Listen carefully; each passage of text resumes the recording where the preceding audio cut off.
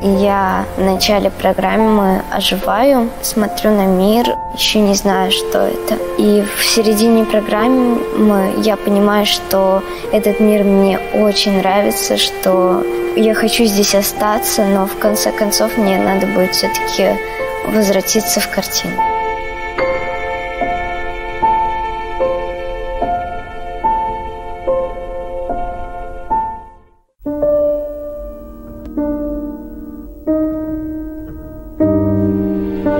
Когда я первый раз это увидела, для меня было «А, а, а что? Как?»